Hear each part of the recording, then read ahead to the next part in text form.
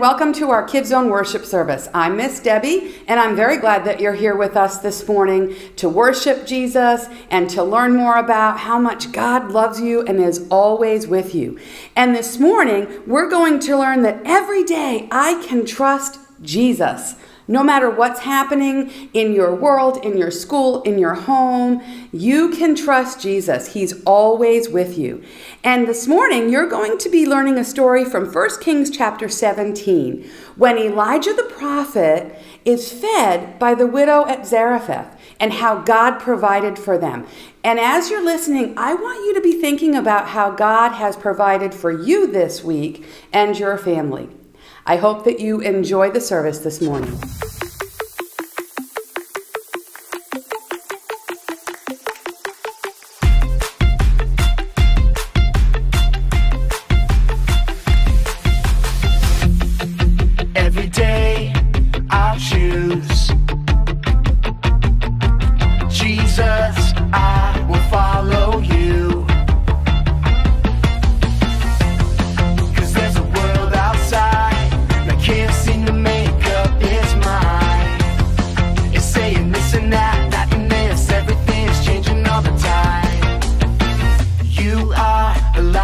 to the way. So I'll say hey Every day I'll choose. Jesus, I will follow you. Let everything I do Honor you every day. I'll trust and obey Every word you say Cause I know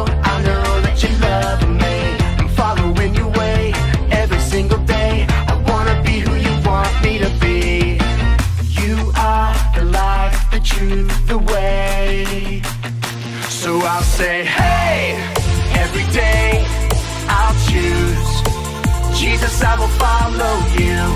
That everything I do honor you every day. Every day I'll choose Jesus I will follow you. That everything I do honor you every day.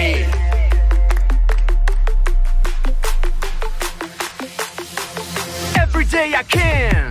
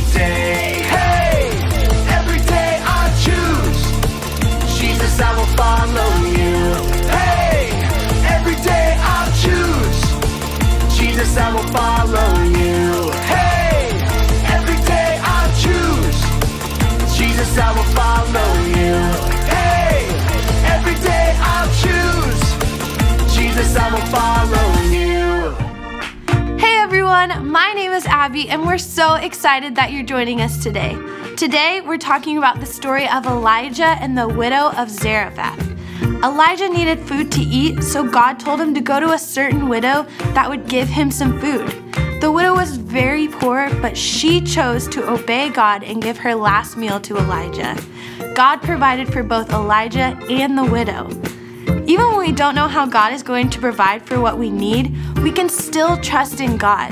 That's why today we're saying, Every day I can trust Jesus. We're going to start things off by singing a song together. So go ahead and stand up and sing this out with us as loud as you can.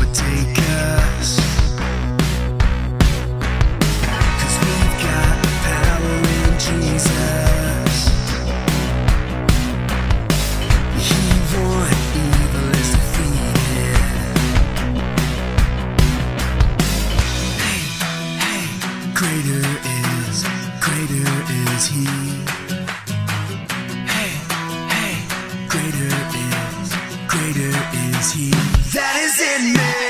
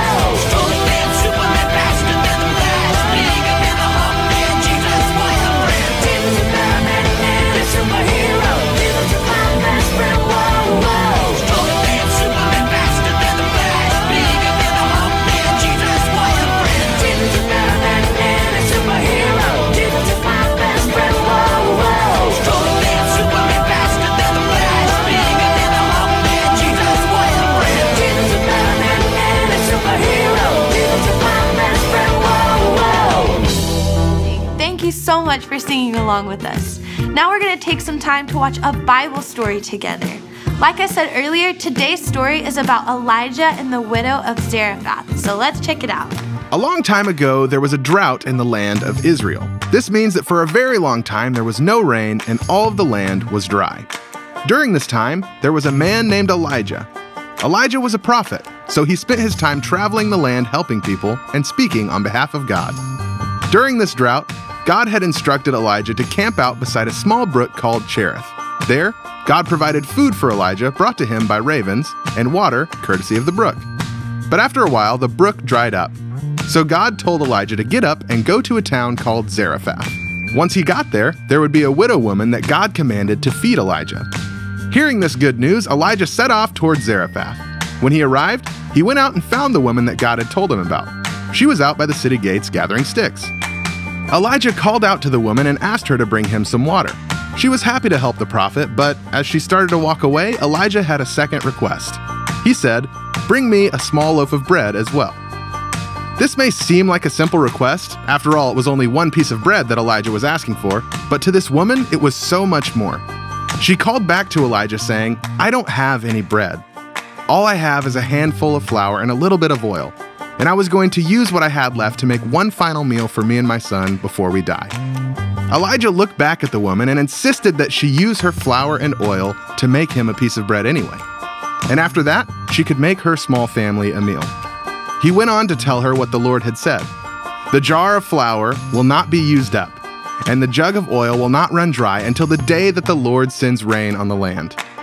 The woman left and made the bread for Elijah, and when she had finished, she realized that what God had promised came true. There was still some flour and oil left. So, she made a meal for her and her son to eat, and every time she went back to make bread during the drought, she always had enough. God did as he promised and multiplied her flour and oil until the day came when rain returned to the land. The end. What an incredible story! God took a small amount of oil and flour that was only supposed to last one more meal, and He used it to feed the woman and her son until the drought was over.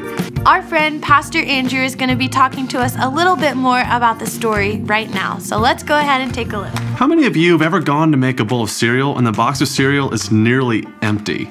Like there are just a few actual pieces of cereal left, and then there's just the crumbs. Yeah, that's always pretty disappointing.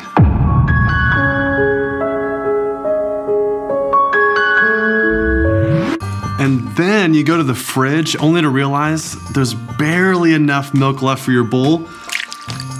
Oh, that is the worst.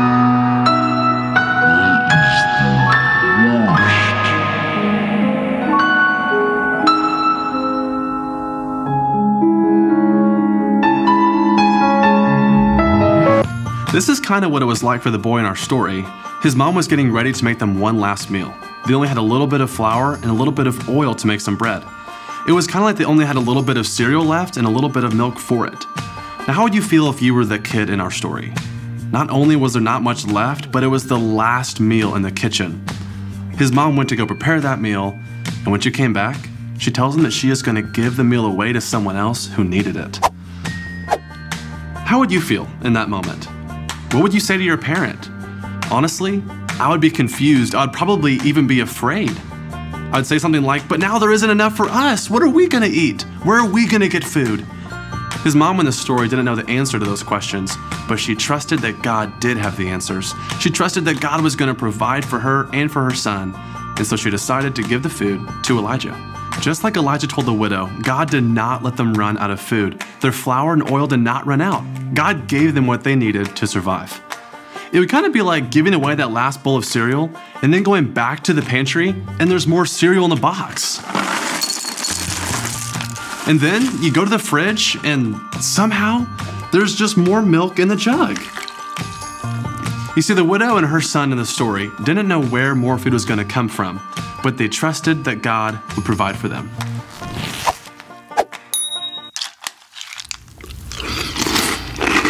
Hmm. Now, we don't always know how God is going to provide for us, and that's okay. We can still trust in Him every single day to provide for what we need. Sometimes God will provide for you in ways that aren't so obvious. Or think about this God provided for the widow by telling her to give. Still, she trusted that when she gave, God would give back to her and provide for her. God always provides for us. His ways are higher than our ways. We can trust in God because He is good and He provides for our needs. Everyone say this after me. Every day, I can trust in Jesus. We don't always know how God is going to provide for us, but that's okay. We can still trust in Him every single day to provide for what we need. Is there something you're in desperate need of, like the woman from our story today? I would encourage you to take some time right now to talk with your parents or your small group leaders. Talk about what that need is, and then take some time to pray together and bring those needs to God. Tell Him that you trust Him to meet those needs. Remember, every day we can trust in Jesus. That's it for this week. Thank you so much for joining us, and we'll see you next time.